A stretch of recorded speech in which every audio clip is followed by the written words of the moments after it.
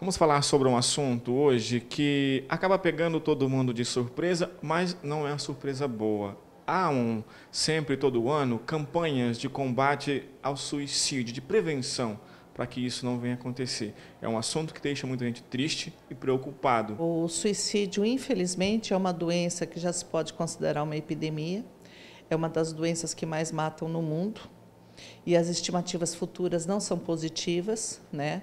Ainda nós teremos muito casos pela frente, justamente por causa da qualidade de vida que nós vivemos hoje, né? Hoje o ser humano está exposto muito a críticas, hoje as pessoas julgam demais e essa repercussão hoje, devido às mídias, toma uma proporção assim que não não se dá para controlar. Então, o preconceito ainda existe quanto à saúde mental. Nós tivemos o Janeiro Branco, que justamente chamou atenção para as doenças é, mentais, e as pessoas qualificam as doenças mentais apenas aquelas que têm uma consequência de que eu posso haver, né? A loucura, o, a paralisia, e não é isso, né? As doenças mentais incluem todo tipo de transtorno e os emocionais que levam ao suicídio, como a depressão, uma distimia, estão incluídos nisso. É uma fala, é um comportamento, é uma frase. É, ainda as pessoas acham que se fala, não se comete suicídio. E comete. E outras falas que ainda tem, ah, precisa ir na igreja. Eu, sinceramente, me incomoda muito isso, né? O suicídio é uma doença. Lógico que a religiosidade, a espiritualidade é muito importante, né? Mas ela tem que ser tratada como um caso de saúde pública, né? Então, quando você observa que há uma pessoa na sua casa, e isso não está só ligado a quem é triste, não. Nós temos muitos suicidas que são alegres, postam coisas positivas, mas por trás daquele sorriso e daquela alegria tem justamente um lado melancólico escondido, porque tem vergonha de falar. Né? Então, nós temos que começar a observar né, uh, as pessoas que estão do nosso lado, os nossos amigos, os nossos familiares, os nossos esposos e esposas, filhos, né?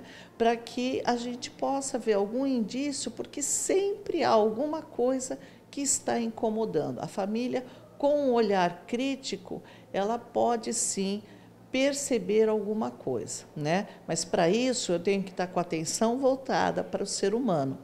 Hoje, o que a gente verifica nos casos que eu recebo aqui na clínica de automutilação e também de tentativas de suicídio, que graças a Deus não foram bem sucedidas, a pessoa sobreviveu, há uma carência emocional profunda, uma carência afetiva profunda. Muitas vezes tem de tudo, né? mas o lado emocional fica para segundo plano por excesso de trabalho da família ou da própria pessoa, por ser extremamente controladora. N casos a gente encontra aqui. Então, nós temos que ter um olhar sensível para essas pessoas que sutilmente deixam algum recadinho de que não vão bem. Nem a própria pessoa consegue resolver isso por si só. Não adianta ficar lendo livro de autoajuda. Ah, lê esse livro, manda recadinho pelo Facebook com palavras bonitas. É, pessoa, é, não é assim que as coisas fazem, né? É como uma doença qualquer, ela precisa de auxílio de profissional. Muitas vezes com medicação. E as pessoas têm muito preconceito em relação à medicação. Param por conta própria, não continuem o tratamento porque acham que estão bem, ou então não começam porque têm vergonha de falar que está com depressão. Uh, a gente percebe que os homens têm mais vergonha hoje que as mulheres, as mulheres estão se cuidando mais. O homem sempre foi negligente com a própria saúde, né? Mas nos casos emocionais, eles têm mais vergonha ainda, né? Então a família não consegue, o pastor não consegue, o padre não consegue ajudar a pessoa por si só. Uh, as terapias uh, alternativas, uh, espirituais, elas complementam, mas ele precisa de um acompanhamento psicológico e psiquiátrico muitas vezes. Ana, um assunto que chamou também a atenção nesse final de semana foi a respeito de um bebê que acabou morrendo por uma fatalidade afogado na máquina de lavar. A gente quer falar sobre curiosidade, porque isso é o que chama muita atenção da, da criança. Com certeza. A criança nessa faixa de idade, né, a partir do que ela começa a andar, ela descobre o mundo, né? Ela descobre que não depende mais de um braço da mãe para poder andar, para poder descobrir o mundo. Então a curiosidade da criança é imensa. Então o alerta dos pais, eu recebo crianças todos os dias aqui, uh, a criança realmente não para, a criança está descobrindo. Confundem muito essa não parar da criança, essa curiosidade contínua da criança com hiperatividade. Não, hiperatividade é uma patologia muito grave que as pessoas confundem muito. Né? E a criança realmente não para, ela mexe, cabe ao pai e à mãe estarem sempre orientando. Então, os acidentes domésticos, infelizmente, eles acontecem por causa que às vezes a gente não se atém a pequenos detalhes. Por exemplo, Aqui, muitas pessoas fazem é, sabão em casa, né? Então, sabão, detergente, amaciante. E colocam uh, cores, né? Então, é o azul, é o rosa e coloca numa garrafa PET.